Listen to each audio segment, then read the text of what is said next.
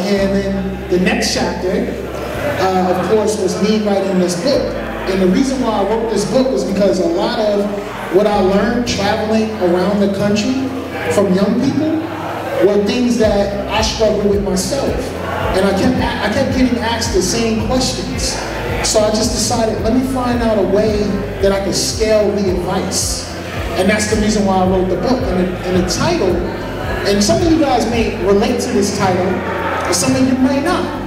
But it's called Don't Dumb Down Your Greatness. And the reason why I named it that is because when I was building my business, it, was, it didn't just happen with the last, but a lot of businesses, sometimes you feel like you're great, you're doing something great, you're doing something excellent, you might get a lot of praise, you might get a lot of pats on the shoulder, a lot of shine, but what happens is, I found, my, I found myself having to dim my light to make other people comfortable, right? And you don't want to do that. And so the reason why I say don't is greatness, because it's like, own it up, you know? And if there's somebody's offended, then that, then that, that shows you that that's not the person that's supposed to be around you. One quote I always say, I say your focus will offend the right people.